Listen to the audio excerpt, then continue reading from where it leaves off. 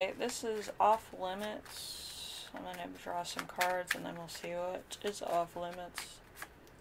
We only got one card. We have the Ten of Pentacles with satisfaction um, and marriage or engagement. Okay, so we have December.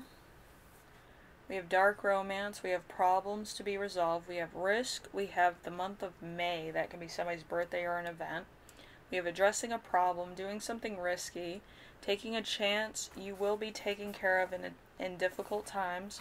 We have financial gain. We have unusual, usually coming from something you did in the past. We have ghosted. We have period of frustration. We have lessons to be learned.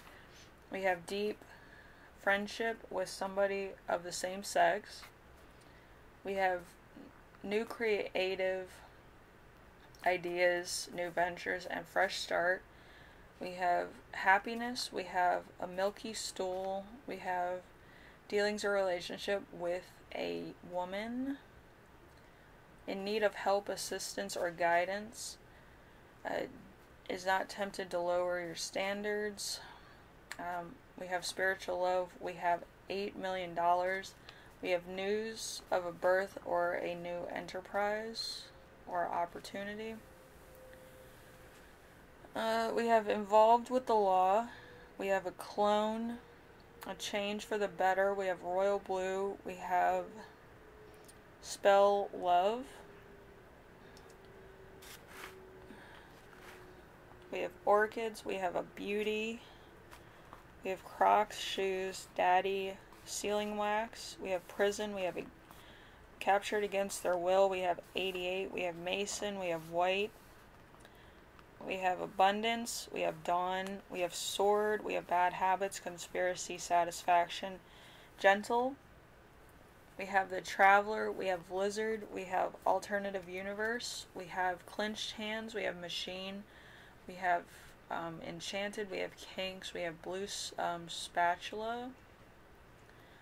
We have a desert, we have naps, we have the number 94, we have chords, we have communication, we have artists, we have a judge, we have a maypole,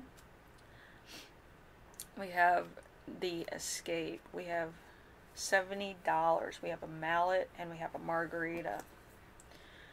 So, there's there's a serious problem. I don't know what this is about, but it seems like to me that there's going to be a jailbreak. Or somebody's going to get out of jail. That's going to be interesting. So we have Ace of Wands in reverse, so there's no new energy. Uh, six of Swords, an escape or overcoming difficulties. We have the Queen of Wands with no strength.